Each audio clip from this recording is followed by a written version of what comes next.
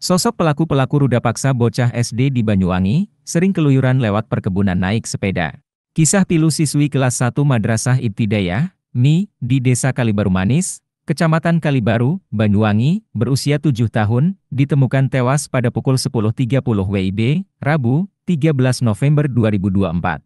Korban ditemukan tertelentang di semak-semak ilalang. Korban ditemukan dalam kondisi tak wajar bersimbah darah diduga korban pembunuhan. Alat vital korban rusak dan kepalanya bocor. DCN kemudian dibawa ke RSUD Genteng, dan dinyatakan meninggal dunia saat akan diselamatkan. Tak hanya dianiaya, bocah kelas 1 Mi itu juga diduga diperkosa pelaku. Tubuh siswi Mi ditemukan tergeletak di kebun oleh sang ibu bersama pihak sekolah yang mencari korban, karena belum sampai rumah setelah jam pulang sekolah. Petugas kepolisian langsung menuju RSUD Genteng dan TKP. Dari lokasi kejadian petugas menemukan sepeda dan sepatu milik korban. Kasat Reskrim Polresta Banyuwangi Kompol Andrew Vega mengatakan, korban diduga diserang oleh seseorang. Sementara tadi kami lihat ada kancing yang bertebaran dan kondisi celana yang terlepas. Kemungkinan berarti ada dugaan itu dibuka paksa, kata Kompol Andrew Vega dikutip dari Tvoneneus, Kamis, 14 November 2024. Hingga saat ini polisi masih menyelidiki kasus tersebut. Pelaku belum terdeteksi, kata Andrew.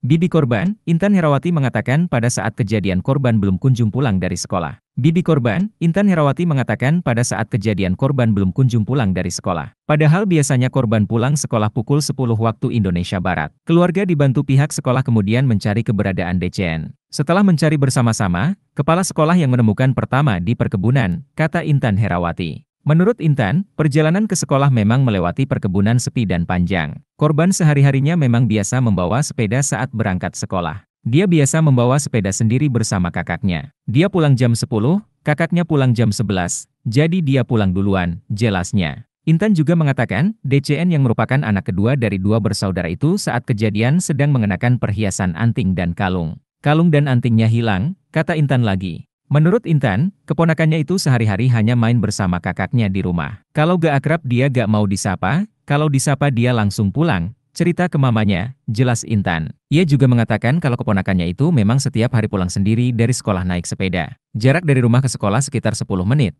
Cukup jauh, itu pun melewati perkebunan yang sepi. Kalau penerangan sih gak ada, kanan kiri perkebunan, ya tandasnya.